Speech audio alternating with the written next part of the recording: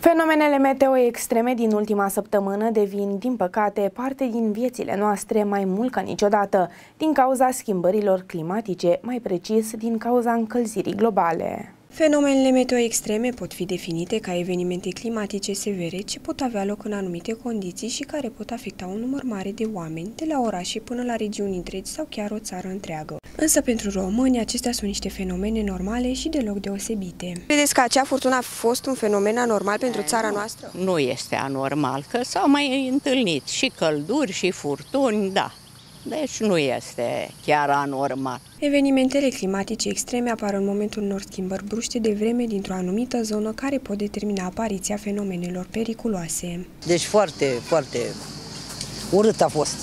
Deci până acum nu s-a întâmplat așa să vezi tot coborât, tot la pământ. Mulți români aleg să se adăpostească în casă pentru a se feri și evita fenomenele meteo extreme ce se întâmplă. Însă, din păcate, sunt și cazuri în care locuințele acestora sunt distruse către acestea. Referitor la furtuna din weekend, ce măsuri de precauție ați luat?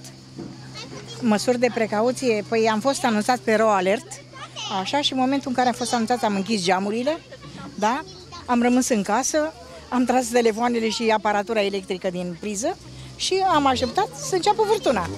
Deși ele durează cel mult câteva zile, de cel mai multe ori fenomenele climatice extreme au puterea de a distruge întregi comunități sau ecosisteme, iar câteva exemple de fenomene meteo neobișnuite în România sunt tornadele, valurile de caniculă sau inundațiile.